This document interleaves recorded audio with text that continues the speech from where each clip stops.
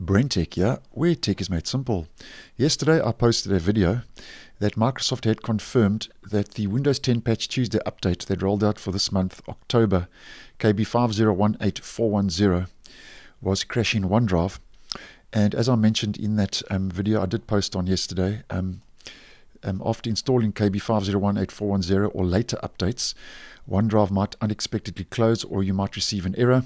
And Microsoft said that they would be rolling out a fix soon and that would be it would become available soon. Now that is indeed what has happened. And late yesterday in my region on the 28th of October, Microsoft has released an emergency out of band OOB update, KB 5020953, to fix the OneDrive issue of OneDrive crashing on Windows 10.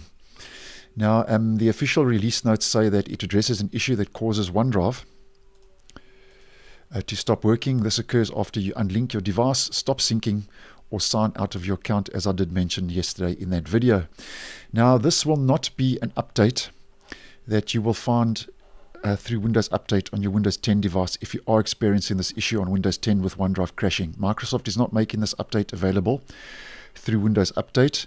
They are only making this out of band update, which they um, normally do with these emergency updates available at this stage through the Microsoft Update Catalog.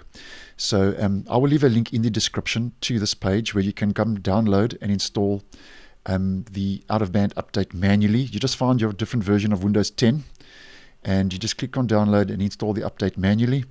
And um, only install this update if you are facing the OneDrive crash issues on Windows 10, else just ignore the update. You don't have to install it only if you are facing OneDrive issues and where the, the app is closing unexpectedly. And um, I'll also leave a link in the description um, if you are unaware how to install an update and download an update and install it manually. I'll also leave a video I did post on previously that will walk you through how to download and update your device um, using the manual updates from the Microsoft Update Catalog.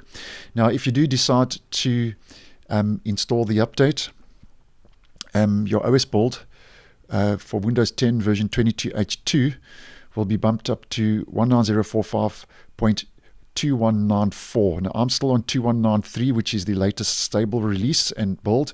But if you do install this um, out of band update um, for whatever version of Windows 10 you are running, 22H2, uh, 21H2, um, 21H1, and 20H2, um, your point release will be bumped up to 21. 94. So just take note of that. So thanks for watching, and I will see you in the next one.